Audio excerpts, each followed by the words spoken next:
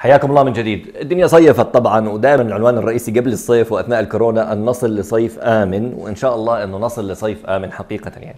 طبعا بنخاف أحيانا اللي بيقول لك أو بلمح إنه والله إحنا بنراقب واحتمالية موجه جديده ووضع جديد ولكن إن شاء الله مع التباعد ومع أخذ الحيطة والحذر ومع أخذ المطاعيم كذلك والحرص على أخذ اللقاحات هذه كلها أمور إن شاء الله تبعد عنا أي موجة جديدة أو أي وضع يعني قد يصيبنا إن شاء الله. ولكن نحو صيف آمن نريد أن نتحدث حول الإجراءات وحول كيف التفاعل كيف سيكون تعامل المؤسسات في حال ظهور إصابات وغيره. نتحدث مع المهندسه نجاح أبو طافش مديرة الصحة والسلامة المهنية في وزارة العمل. يعطيك العافية مهندسه نجاح. الله يعافيك وشكرا لكم ولقناة اليرموك ولجميع المتابعين لهذه القناة. الله يسلمك ويبارك فيك. وأسعد الله مساءكم بكل خير. تسلمي. مهندسي بداية يعني كيف الاستعدادات في في وزارة الصحة لأجل هذا الموضوع؟ أهم الإجراءات يعني المؤسسية بالذات وفي حال ظهور إصابات للوصول لصيف آمن إن شاء الله.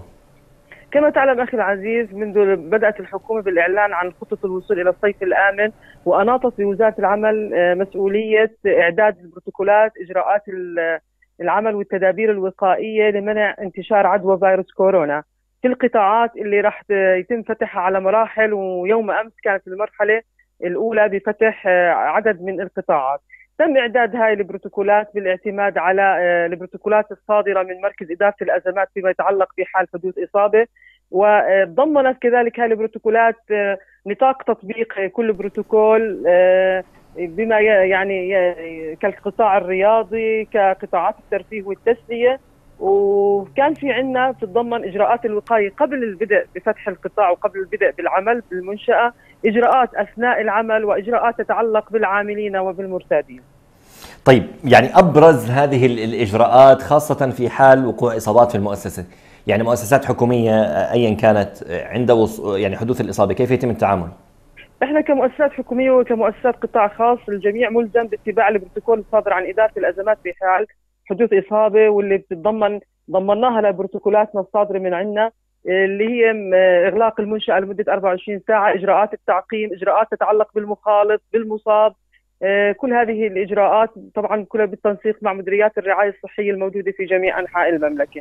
طيب ماذا عن موضوع إعادة فتح القطاعات الآن؟ هل هل يعني بدأتم بترتيب ذلك؟ هل هل هناك إعلانات عن نعم نعم أخي كما بد... كما بدأت في بداية حديثك وتفضلت بأنه إحنا لا نرغب بالعودة إلى بدخول موجة ثالثة ويمكن نحكي عن الفتح التدريجي للقطاعات لكي نصل إلى وضع وبائي آمن ونتجنب الدخول في موجة ثالثة.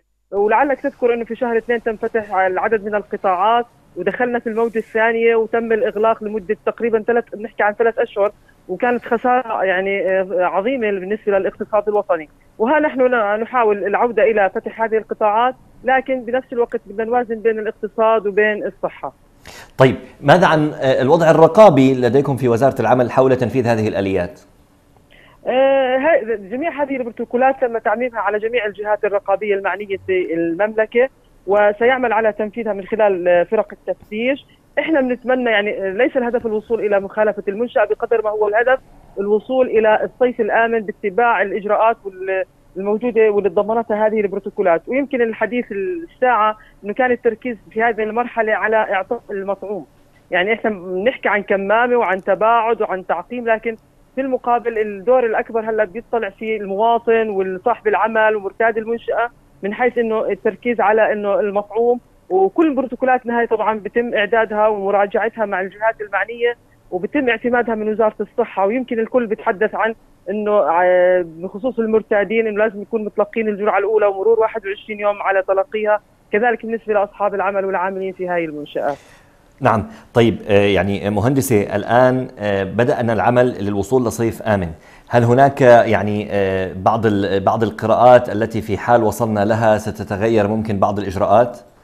نعم خطة الوصول لصيف آمن كما أعلنتها الحكومة ورئاسة الوزراء على مراحل تتضمن ثلاث مراحل. المرحلة الأولى بدأت يوم أمس اعتبارا من واحد حزيران المرحلة الثانية بواحد سبعة في عندنا كمان ب 15 6 في قطاعات راح تفتح وراح يكون في لها كمان بروتوكولات. في عندنا كمان وإجراءات طبعا. زائد إنه في 1 9 في كمان عندنا مرحلة ثالثة وإلها إجراءاتها وإلها متطلباتها واشتراطاتها الصحية. طيب سؤالي الأخير آه، مهندسه، يعني في الوضع في الوضع العام ويعني في التعامل الطبيعي إن كان في الشارع في في في في الدكان في الكذا بدأنا نلحظ إنه الناس يعني بدأت تفقد ال يعني الالتزام في في وسائل السلامة العامة اجمالا اللي هي الكمامة والتباعد والسلام وغيره، ما بعرف إذا أنت بتلاحظ هذا الشيء أو لا.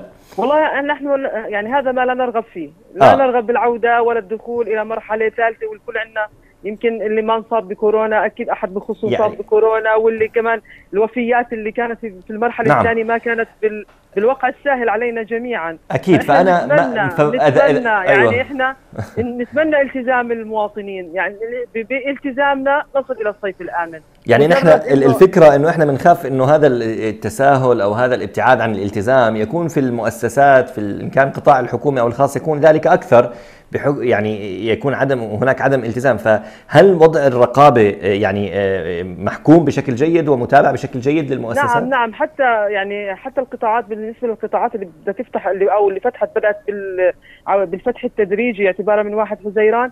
كان هناك آه، تسمية من قبل المنشأة بتسمية ضابط وقاية صحية لمراقبة التزام العاملين والمرتادين للمنشأة حتى نوصل آه، زي ما نعم تفضلت إلى مرحلة الصيف الآمن وما نرجع ندخل بمرحلة ثالثة.